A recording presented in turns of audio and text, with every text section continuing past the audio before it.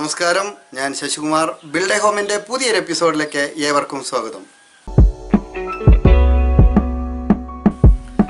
ഇപ്പോൾ നിർമ്മാണത്തിന് കൂടുതലായി ഉപയോഗിച്ചുകൊണ്ടിരിക്കുന്ന പ്രചാരത്തിൽ വന്നുകൊണ്ടിരിക്കുന്ന ഒരു ഉൽപ്പന്നമാണ് എ എസ് സി ബ്ലോക്ക് വളരെ വെയ്റ്റ്ലെസ് ആയിട്ടുള്ള ഭാരം കുറഞ്ഞിട്ടുള്ള ഈ ഉൽപ്പന്നം എങ്ങനെയാണ് നമ്മുടെ നിർമ്മാണത്തിന് ഉപയോഗിക്കുന്നത് എന്നുള്ളതാണ് ഇന്നത്തെ ഈ വീഡിയോയിൽ പരിശോധിക്കുന്നത്.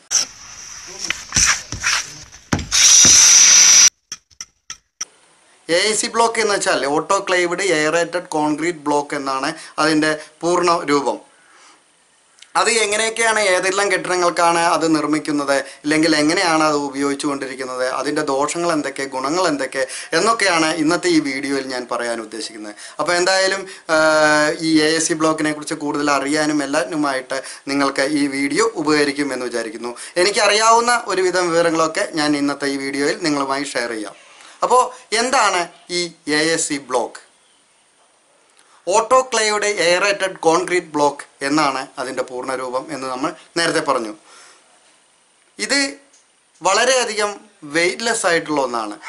ഭാരം കുറഞ്ഞുകൊണ്ട് തന്നെ ഇത് നിർമ്മാണത്തിന് വളരെയധികം പെട്ടെന്ന് തന്നെ നിർമ്മാണ പ്രവർത്തനങ്ങൾക്ക് ഉപയോഗിക്കാൻ സാധിക്കും. അല്ലെങ്കിൽ കെട്ടിടമൊക്കെ നിർമ്മിക്കുമ്പോൾ വളരെ ഈസി ആയിട്ട് നമ്മുടെ വർക്കേഴ്സിനൊക്കെ ഹാൻഡിൽ ചെയ്യാൻ സാധിക്കുന്ന ഒന്നാണ് ഈ എ ബ്ലോക്ക് ഇത് പരിസ്ഥിതി സൗഹൃദമായിട്ടുള്ള ഒരു ലൈറ്റ് വെയിറ്റ് ആയിട്ടുള്ള ഒരു ഉൽപ്പന്നം കൂടി ആയതുകൊണ്ട് നമ്മുടെ വർക്കേഴ്സിനൊക്കെ വളരെ ഈസി ആയിട്ട് അത് ഹാൻഡിൽ ചെയ്യാൻ പറ്റും. അതുകൊണ്ട് തന്നെ നിർമ്മാണ ചെലവ് ഒരു പരിധി വരെ നമുക്കിതിൽ കുറയ്ക്കാൻ പറ്റും.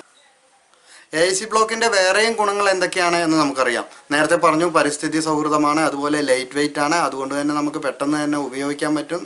വർക്കേഴ്സിന് അത് ഹാൻഡിൽ ചെയ്യാൻ എളുപ്പമായിരിക്കും എന്നൊക്കെ നേരത്തെ പറഞ്ഞു. ഇപ്പം മാർക്കറ്റിലുള്ള സൈസ് എന്ന് പറയുന്നത് ഇരുപത്തിനാല് ഇന്റു എട്ട് ഇന്റു നാല്. അങ്ങനെ അതുപോലെ ഇരുപത്തിനാല് ഇന്റു എട്ട് ഇന്റു ആറ് ഇരുപത്തിനാല് ഇന്റു എട്ട് ഇന്റു എട്ട്. എല്ലാ ഇഞ്ചസിലാണ് ഞാൻ പറഞ്ഞിരിക്കുന്നത്. അപ്പോൾ എ സി ബ്ലോക്കിന്റെ സൈസും നമ്മുടെ സാധാരണ ഇഷ്ടികയുടെ സൈസും എന്ന് പറയുമ്പോൾ എ സി ബ്ലോക്കിന്റെ ഒരു സൈസ് നമ്മൾ ഒരെണ്ണം വെക്കുന്ന സ്ഥലത്ത് നമ്മുടെ സാധാരണ ഇഷ്ടിക ഒരു എട്ടെണ്ണം വെക്കാനുള്ള ഒരു സ്പേസാണ് പോകുന്നത്. അപ്പോൾ എന്താ സംഗതി എന്ന് വെച്ചാൽ നമുക്ക് എട്ട് ഇഷ്ടികയുടെ മോട്ടാർ ജോയിൻസിന് പകരം ഇവിടെ ഒരു ബ്രിക്സ് മാത്രം വരികയാണ്. അപ്പോൾ നമ്മൾ കൺസ്ട്രക്ഷൻ സമയത്ത് മോട്ടോർ ജോയിന്റ് വളരെ കുറയും. അപ്പോൾ സിമെന്റിന്റെ ഉപയോഗവും താരതമ്യേന കുറയും. അതുതന്നെ നമുക്ക് നിർമ്മാണത്തിന്റെ ചിലവ് കുറയ്ക്കാൻ സാധിക്കുന്നു. നമ്മൾ ബ്രിക്സ് അല്ലെങ്കിൽ വെട്ടുകല്ലൊക്കെ ഉപയോഗിച്ച് നമ്മൾ കെട്ടിടം നിർമ്മിക്കുമ്പോൾ നമ്മൾ സിമെന്റും സാൻഡും ഉപയോഗിച്ചിട്ടുള്ള പേസ്റ്റാണ് നമ്മൾ ഉപയോഗിക്കുന്നത്. മോട്ടാറാണ് നമ്മൾ ഉപയോഗിക്കുന്നത്. പക്ഷേ ഇവിടെ നമ്മൾ എ സി ബ്ലോക്ക് ഉപയോഗിക്കുന്ന സമയത്ത് നമുക്ക് ഇത് കൂടാതെ നമുക്ക് സിമെന്റ് സാൻഡ് പോളിമർ ഇതെല്ലാം മിക്സ് ചെയ്തിട്ടുള്ള ഒരു പേസ്റ്റ് കൂടി നമുക്ക് വേണമെങ്കിൽ ഉപയോഗിക്കാം. അങ്ങനെയാണെങ്കിൽ നമുക്ക് സിമെന്റും സാൻഡും കൂടിയിട്ടുള്ള മോട്ടാർ നമുക്ക് ഒഴിവാക്കിയിട്ട് ഈ പേസ്റ്റ് ഉപയോഗിക്കുകയാണെങ്കിൽ സിമെന്റിന്റെ ചിലവ് നമുക്ക് ഒഴിവാക്കാം. സിമെന്റും സാൻഡും ഉപയോഗിച്ചുള്ള മിക്സ് അതാണ് മോട്ടോറായിട്ട് നമ്മൾ ഉപയോഗിക്കുന്നത് എങ്കിൽ ഏറെക്കുറെ ഒരു ബാഗ് സിമെന്റിന് നമുക്ക് ഏറെക്കുറെ ഒരു അമ്പത് എ സി ബ്ലോക്ക് വെച്ചിട്ട് പണിയാൻ സാധിക്കും. അതേസമയം ഇഷ്ടി വെച്ചാണ് ഇത്ര ഏരിയ നമ്മൾ കവർ ചെയ്യുന്നതെങ്കിൽ ചുരുങ്ങിയത് ഒരു രണ്ട് ബാഗ് സിമെന്റെങ്കിലും നമുക്ക് ആവശ്യമായി വരും. പിന്നെ എ സി ബ്ലോക്കാണ് നമ്മൾ ഉപയോഗിക്കുന്നതെങ്കിൽ നമുക്ക് പ്ലാസ്റ്ററിങ് ഒഴിവാക്കാൻ പറ്റും. പകരം പുട്ടി തേച്ച് ഫിനിഷ് ചെയ്തെടുത്താൽ മതി. കാരണം അത്രയും ഫിനിഷായിട്ടുള്ളൊരു സാധനമാണ് A S C block normal ബ്രിക്സിന്റെ മൂന്ന് മടങ്ങ് ലൈറ്റ് വെയിറ്റ് ആണ് നമ്മുടെ എ എസ് സി ബ്ലോക്ക് അതുകൊണ്ട് തന്നെ ടോട്ടൽ ലോഡ് കുറയാൻ ഇത് സഹായിക്കും. നമ്മുടെ കെട്ടിടത്തിന്റെ ടോട്ടൽ ലോഡ് മൂന്ന് മടങ്ങ് കുറയുക എന്നുള്ളത് ചില്ലറ കാര്യമല്ല. Gypsum fly ash aluminium powder cement limestone എന്നിവ ഉപയോഗിച്ചാണ് ഈ എ സി ബ്ലോക്ക് ഉണ്ടാക്കുന്നത്. ഇനി ഇത് ഏതെല്ലാം കെട്ടിടങ്ങൾക്ക് നമുക്ക് നിർമ്മാണത്തിന് ഉപയോഗിക്കാം എന്നുകൂടി പരിശോധിക്കാം.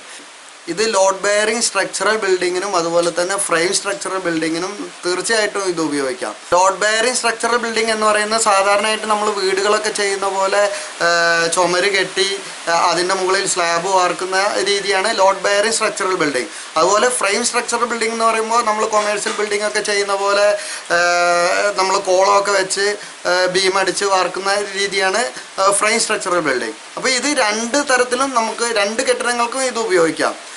പക്ഷേ എന്താ വ്യത്യാസം എന്ന് വെച്ചാൽ ലോഡ് ബെയറിംഗ് സ്ട്രക്ചറൽ ബിൽഡിങ്ങിന് ഉപയോഗിക്കുമ്പോൾ നമ്മൾ ഇതിന്റെ കംപ്രസീവ് സ്ട്രെങ്ത്ത് ഒന്ന് പരിശോധിക്കണം. അത് പരിശോധിച്ച് കൃത്യമാണോ എന്ന് ഉറപ്പാക്കിയ ശേഷം മാത്രമാണ് ലോഡ് ബെയറിംഗ് സ്ട്രക്ചറൽ ബിൽഡിങ്ങുകൾക്ക് ഇത് ഉപയോഗിക്കാവൂ. ഇത് ഇന്ത്യൻ സ്റ്റാൻഡേർഡ് ബോർഡ് റെക്കമെൻഡ് ചെയ്യുന്ന three two four point five newton per M M square ആണ് ഇതിന്റെ കംപ്രസീവ് സ്ട്രെങ്ത്ത് എന്നാണ് റെക്കമെൻഡ് ചെയ്തിരിക്കുന്നത്. അപ്പോൾ അത് കൃത്യമായിട്ട് ഉണ്ടെങ്കിൽ മാത്രമാണ് ലോഡ് ബെയറിംഗ് സ്ട്രക്ചറൽ ബിൽഡിങ്ങുകൾക്ക് തീർച്ചയായിട്ടും ഇത് ഉപയോഗിക്കാവൂ. അതുകൊണ്ടാണ് ഞാൻ നേരത്തെ പറഞ്ഞത് ഇത് കൃത്യമായിട്ടും കംപ്രസീവ് സ്ട്രെങ്ത് പരിശോധിച്ച ശേഷം മാത്രമേയാണ് നമ്മൾ ലോഡ് ബെയറിംഗ് അതായത് സാധാരണ വീടുകൾക്ക് തട്ടടിച്ച് വാർത്ത് നമ്മൾ സ്ലാബ് പണിയുന്ന കെട്ടിടങ്ങൾക്ക് നമുക്ക് ഉപയോഗിക്കാവൂ എന്ന് പറയാൻ കാരണം. അതേസമയം സ്ട്രക്ചറൽ ബിൽഡിങ്ങുകൾക്ക് ഇത് ചെയ്യുന്നതിന് യാതൊരുവിധ പ്രശ്നവുമില്ല. നമുക്ക് ഫ്രെയിം സ്ട്രക്ചറൽ ബിൽഡിങ്ങുകൾക്ക് ചെയ്യുന്നതിന് യാതൊരുവിധ പ്രശ്നവുമില്ല അത് തീർച്ചയായിട്ടും നിങ്ങൾക്ക് ഒരുപാട് ഗുണങ്ങൾ തന്നെയാണ് ഉണ്ടാകുന്നത് പിന്നെ ഇതിന്റെ ഏറ്റവും വലിയൊരു ഗുണം എന്ന് പറയുന്നത് ഇത് എല്ലാ സീസണിലും നമുക്ക് ലഭിക്കും. കാരണം വേറെ ഇതിന് യാതൊരുവിധ തടസ്സങ്ങളും ഇല്ല. പക്ഷേ നമ്മുടെ ബ്രിക്സ് ഒക്കെ ആണെന്നുണ്ടെങ്കിൽ ക്ലേ ബ്രിക്സ് ഒക്കെ ആണെന്നുണ്ടെങ്കിൽ മഴക്കാലം ആയാലൊക്കെ കിട്ടാനുള്ള സാധ്യത കുറവാണ്. ഇപ്പോൾ നമ്മുടെ നാട്ടിൽ അത് അവൈലബിലിറ്റി വളരെ കുറവാണ്. അതുപോലെ വെട്ടുകല്ലാണെങ്കിലും നമുക്ക് കിട്ടാനുള്ള സാധ്യതകൾ ഇപ്പോൾ വളരെ കുറഞ്ഞുകൊണ്ടിരിക്കുകയാണ്. മഴക്കാലം ആയി കഴിഞ്ഞാലൊന്നും കിട്ടില്ല. പക്ഷേ എ സി ബ്ലോക്ക് ഉപയോഗിക്കുമ്പോൾ ഇങ്ങനത്തെ പ്രശ്നങ്ങളൊന്നുമില്ല എല്ലാ സമയത്തും കിട്ടും. പക്ഷേ ഇതിന്റെ ഒരു പ്രധാന കാര്യം എന്ന് പറയുന്നത് നമ്മുടെ കേരള മാർക്കറ്റിൽ ഇത് വിപണിയിൽ വന്നുകൊണ്ടിരിക്കുകയാണ്. പല സ്ഥലങ്ങളിലും എത്തിയിട്ടില്ല. എങ്കിലും ഇത് ഒരുപാട് സ്ഥലങ്ങളിലുണ്ട്. പക്ഷേ ഇതിന്റെ പ്രൊഡക്ഷനൊക്കെ നടക്കുന്നത് നമ്മുടെ അതർ സ്റ്റേറ്റുകളിലാണ്. ഹൈദരാബാദ് പോലുള്ള സ്ഥലങ്ങളിലാണ് ഇപ്പോൾ നിർമ്മാണം ഉള്ളത് അവിടുന്നാണ് നമ്മുടെ കേരളത്തിലേക്കൊക്കെ വരുന്നത്. അതുകൊണ്ട് തന്നെ നമ്മുടെ സാധാരണ ഇഷ്ടിയേക്കാൾ ഇതിന് വില കൂടുതലാണ്. പിന്നെ ഇതിന്റെ വേറൊരു ഗുണം എന്ന് പറയുന്നത് നമ്മുടെ വീടിനകത്ത് അല്ലെങ്കിൽ നമ്മുടെ റൂമിനകത്ത് ഇത് ചൂട് കുറയ്ക്കാൻ വളരെയധികം സഹായിക്കും. പിന്നെ ഇതിന്റെ പല കമ്പനികളും പറയുന്നത് ഇന്റേർണൽ വാളായിട്ട് നമുക്ക് പതിനഞ്ച് സെന്റിമീറ്റർ തിക്നെസ് ഉള്ള എ സി ബ്ലോക്ക് ഉപയോഗിക്കാം. അതുപോലെ ഔട്ട് സൈഡ് വരുന്നത് ഇരുപത് സെന്റിമീറ്റർ തിക്നെസ് ഉള്ള എ എ സി ബ്ലോക്ക് ഉപയോഗിക്കാം എന്നൊക്കെയാണ്. എങ്കിലും നമ്മൾ തീർച്ചയായിട്ടും അത് ഉപയോഗിക്കുന്നതുകൊണ്ട് യാതൊരുവിധ കുഴപ്പവുമില്ല. പക്ഷേ നമ്മൾ അതിന്റെ കംപ്രസീവ് സ്ട്രെങ്ത് എപ്പോഴും പരിശോധിച്ചിരിക്കണം. പിന്നെ ഇതിന്റെ മറ്റൊരു പ്രധാന ഗുണം എന്ന് പറയുന്നത് ഇത് ഫയർ റെസിസ്റ്റന്റ് ആണ്. സാധാരണ ബ്രിക്സുകളെ അപേക്ഷിച്ച് നാല് മുതൽ ആറ് മണിക്കൂർ വരെ ഇതിന് ഫയർ റെസിസ്റ്റ് ചെയ്യാനുള്ള ഒരു പവർ കൂടിയുണ്ട്. സാധാരണ ബ്രിക്സുകൾക്ക് ഒരു ടു അവേഴ്സ് വരെയൊക്കെയാണ് റെസിസ്റ്റ് ചെയ്യാനുള്ള പവർ ഉള്ളൂ. പക്ഷേ ഇത് അതിൽ കൂടുതലുണ്ട്. ഇനി ഇതിന്റെ വില നിലവാരം എന്തൊക്കെയാണെന്ന് നമുക്ക് നോക്കാം. ഇപ്പോൾ എന്റെ അടുത്ത പ്രദേശമായ പട്ടാമ്പിയിലെ ഒരു ഡീലറോട് ഞാൻ സംസാരിച്ചപ്പോൾ കിട്ടിയ ഒരു അറിവ് വെച്ചാണ് ഇവിടുത്തെ വില നിലവാരം ഞാൻ പറയുന്നത്. അതായത് നേരത്തെ അതിന്റെ സൈസ് ഞാൻ പറഞ്ഞു ഇരുപത്തിനാല് ഇന്റു എട്ട് ഇന്റു എട്ട്. അതിന്റെ റേറ്റ് എന്ന് പറയുന്നത് നൂറ്റി മുപ്പത്തഞ്ച് രൂപയാണ്. ഒരു ബ്രിക്സിന് നൂറ്റി മുപ്പത്തഞ്ച് രൂപയാണ്. അതുപോലെ ആറിഞ്ച് സൈസിന് നൂറ്റഞ്ച് രൂപയും നാലിഞ്ച് സൈസിന് എഴുപത്തഞ്ച് രൂപയുമാണ് റേറ്റ് എന്നാണ് ഇപ്പോൾ എനിക്കറിയാൻ കഴിഞ്ഞിട്ടുള്ളത്. ഒരുപക്ഷെ കേരളത്തിൽ പലയിടങ്ങളിലും കൂടുതലായിട്ട് അവൈലബിലിറ്റി ഉള്ള സ്ഥലങ്ങളിലൊക്കെ ചിലപ്പോൾ റേറ്റ് കുറയാനുള്ള സാധ്യതയുണ്ട്. ഇല്ലെങ്കിൽ ഡയറക്റ്റ് ഡീലേഴ്സിന്റെ അടുത്തൊക്കെ ചിലപ്പോൾ ഒരുപക്ഷെ റേറ്റ് കുറയാൻ സാധ്യതയുണ്ട്. ഇത്രയുമാണ് എ എ സി ബ്ലോക്കിനെ പറ്റിയിട്ടുള്ള എന്റെ ചെറിയൊരു അറിവ്. അപ്പോൾ ഇനി ഇതുമായി ബന്ധപ്പെട്ട എന്തെങ്കിലും സംശയങ്ങളൊക്കെ ഉണ്ടെങ്കിൽ നിങ്ങൾക്ക് കമന്റ് ബോക്സിൽ എന്നോട് ചോദിക്കാം. എനിക്കറിയാവുന്ന കാര്യങ്ങളൊക്കെ ഞാൻ നിങ്ങളുമായിട്ട് ഷെയർ ചെയ്യാം. എന്തായാലും ഈ ഒരു അറിവ് നിങ്ങൾക്ക് പലർക്കും ഉപകാരപ്പെടും എന്ന് ഞാൻ വിചാരിക്കുന്നു. എന്തായാലും ഈ ഒരു അറിവ് നിങ്ങൾക്ക് ഇഷ്ടമായെങ്കിൽ ലൈക്ക് ചെയ്യാൻ മടിക്കരുത്. ഇത് മറ്റുള്ളവർക്ക് കൂടി അറിയുന്നതിന് വേണ്ടിയിട്ട് നിങ്ങളിത് ഷെയർ ചെയ്യാനും മടിക്കണ്ട. കാരണം കൺസ്ട്രക്ഷൻ മേഖലയിലെ പല ആളുകൾക്കും ഇത് പുതിയ ഒരു അറിവായിരിക്കും എന്ന് വിശ്വസിക്കുന്നു. പല ആളുകൾക്കും അറിയാം. എങ്കിൽ പോലും ഇത് നിങ്ങൾക്ക് ഉപകാരപ്പെടും എന്ന് വിചാരിക്കുന്നു. അതുപോലെ തന്നെ ഈ ചാനൽ ഇനിയും സബ്സ്ക്രൈബ് ചെയ്യാത്ത ആളുകളുണ്ടെങ്കിൽ ഒന്ന് സബ്സ്ക്രൈബ് ചെയ്യുക. എന്തായാലും അടുത്ത ഒരു വീഡിയോയിൽ മറ്റൊരു വിശേഷങ്ങളുമായിട്ട് വീണ്ടും കാണാം. അതുവരേക്കും ഗുഡ് ബൈ